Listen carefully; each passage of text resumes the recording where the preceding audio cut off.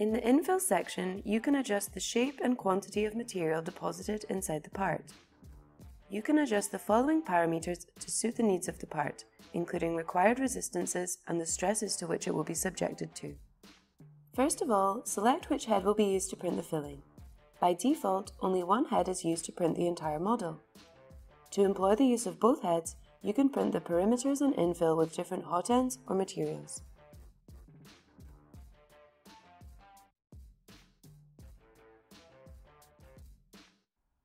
The infill density parameter allows you to adjust the amount of infill that the printed model will have.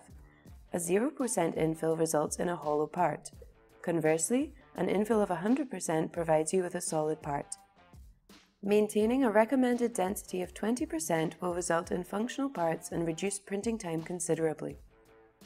Finally, the infill pattern parameter allows you to select the pattern or geometry the printer will follow to create the filling material. Since there are many possibilities, we must select the one that best suits the needs of our design.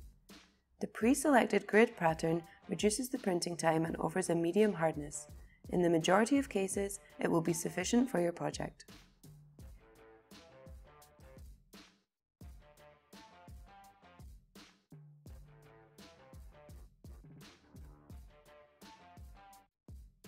BCN 3D Stratos allows you to configure many parameters. You can enable them from the tab Settings, Settings Visibility, Enable All, or by clicking on the settings icon of each parameter.